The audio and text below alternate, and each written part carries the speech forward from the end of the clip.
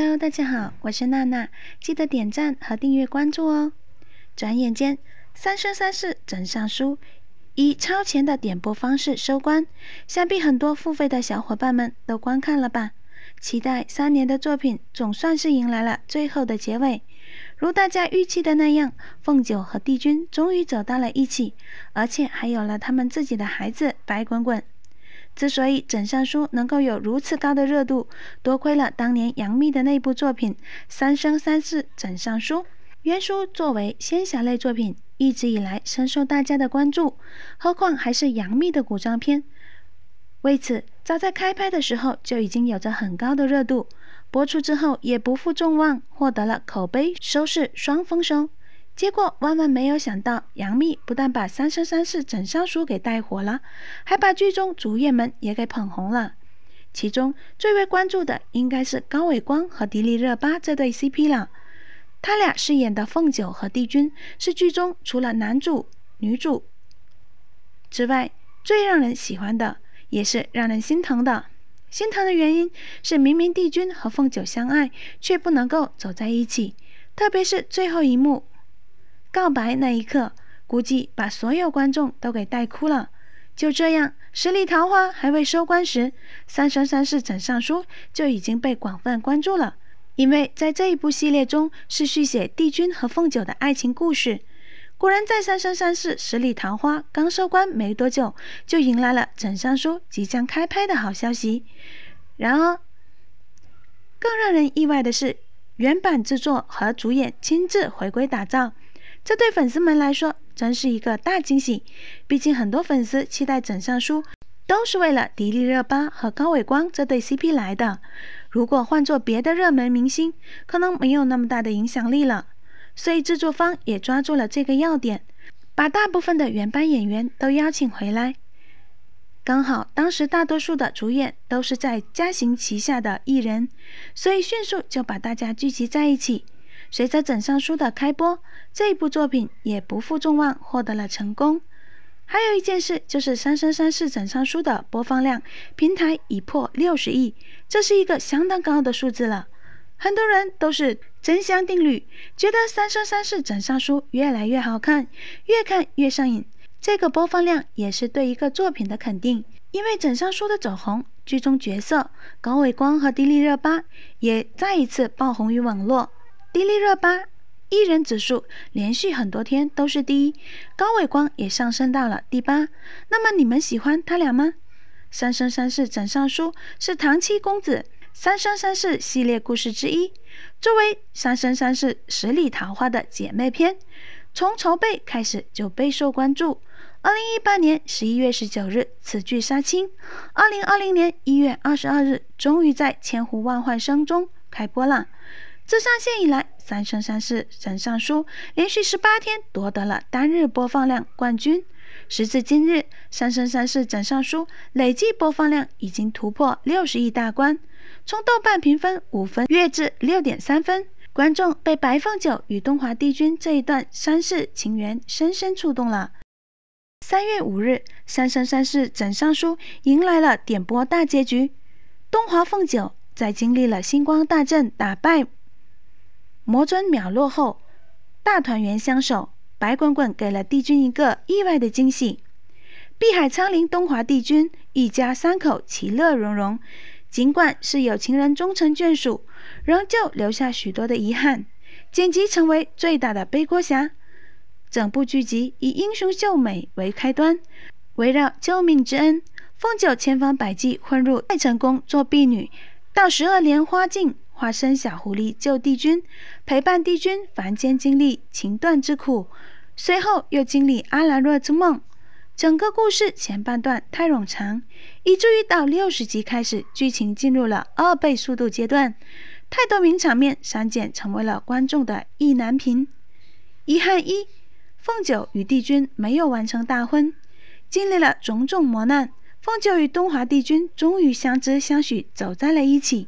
边帐之礼上，帝君一招秒杀皮草魔君聂初言。本来欢欢喜喜的大婚，最后因为姬恒的搅局与秒落破结界出现，最后成为了凤九的心结，错过了两百多年的相守。《三生三世十里桃花，白浅大婚前夕打碎了结婚灯，因为素素遭遇责怪夜华，最后夜华以元神祭敦煌中两个人没能举行大婚仪式。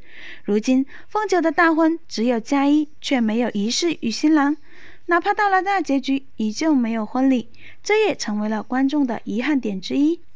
遗憾二，一家三口的团圆戏份被删除，本来。预告花絮里有帝君一家三口的游船戏份，可是由于最终大结局被删减了，作为主角人物线，在第五十六集中，帝君一家三口戏份稍显不足，反而姬恒与魔君燕池无戏份略多，在观众心里，对于番外有着特别的渴望，可是最后都没能看到，这也不免成为了最终的遗憾。白滚滚与阿离这两位青丘后代，也没能在结局上。见上一面，成为观众的意难平。不过，在官方花絮中，这两位小仙童同病相怜，被夫君赶出寝殿，一起数星星的场景，还是十分可爱逗趣的。遗憾三，核心部分天命石一语带过。凤九与帝君本来缘浅薄。这在《三生三世十里桃花》中就曾叙述，凤九砍下一条尾巴作为执念，想要在三生石上刻上帝君的名字，最后失败，两人无法相守，各自安好。其实，在《三生三世枕上书》中，对于天命还是有笔墨的。在阿兰若之梦中，帝君使用叠咒术召唤天命使者，探究两人的缘分。两个本来无缘的人，因为陈华与阿兰若的故事，生出了浅薄的缘分。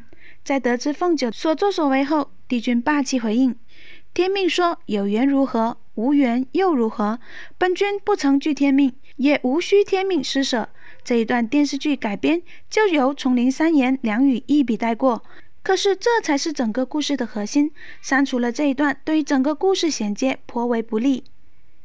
遗憾四，各类名场面被删减，剪辑略显混乱。《三生三世枕上书》原来有六十集，可是最终只播放了五十六集。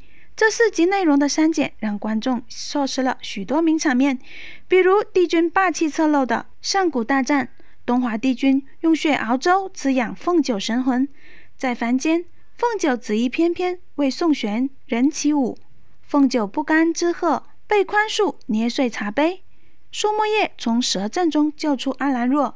陈华为何误会阿兰若，成为了终生遗憾。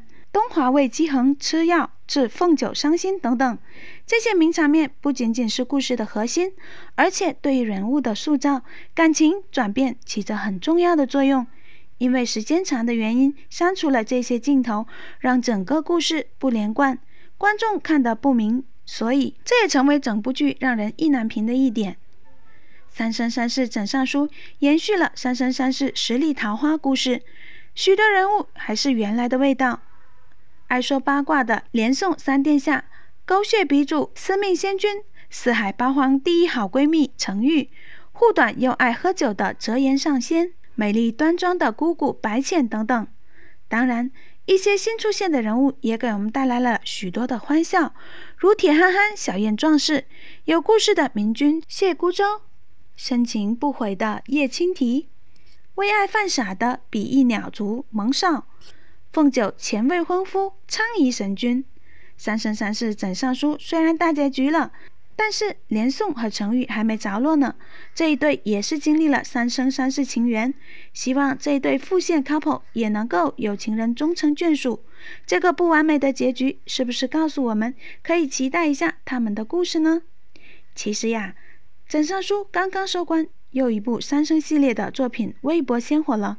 它就是唐七公子的第三部三生系列《三生三世不生莲》。只要看过的小伙伴们都应该知道，这一部讲述着连宋和程昱之间的爱情故事。对于连宋、程昱这对小冤家，相信大家从十里桃花就开始有印象了吧？作为九重天中最逗趣的两个人，每天几乎都在互损。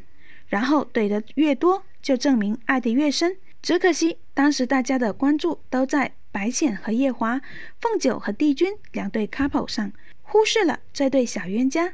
而在《三生三世枕上书》中，因为连宋的戏份增多，而渐渐成为了大家的焦点。更重要的是，他俩还是原班主演，没有更换。大家开始期待他俩能够有个完美的结局。只不过这部小说还在连载中，估计还需要等很长一段时间。大家期待《三生三世不生莲》的开拍吗？欢迎留言哦。